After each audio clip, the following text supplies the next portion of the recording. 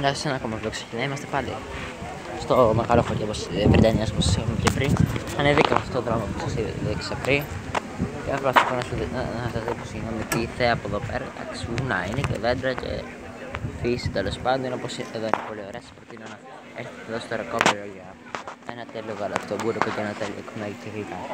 Μετά αυτά δεν έχω υγεία φυσικά. Αλλά στο προτείνω, να το βλέπετε το ρολόι πάνω έχει και τίποτα το ιδιαίτερο.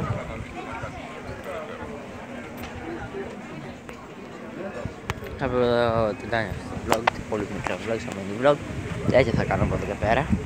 Δυστυχώς, ένα χώρο είπαμε, είναι μ' άρεσε και το βίντεο. Κάντε like, σας άρεσε το βίντεο και subscribe φυσικά like αυτό το κανάλι. Οπότε θα κλείσω και να βλέπετε τα βίντεο, ένα στο visual με το βίντεο μου και από μένα.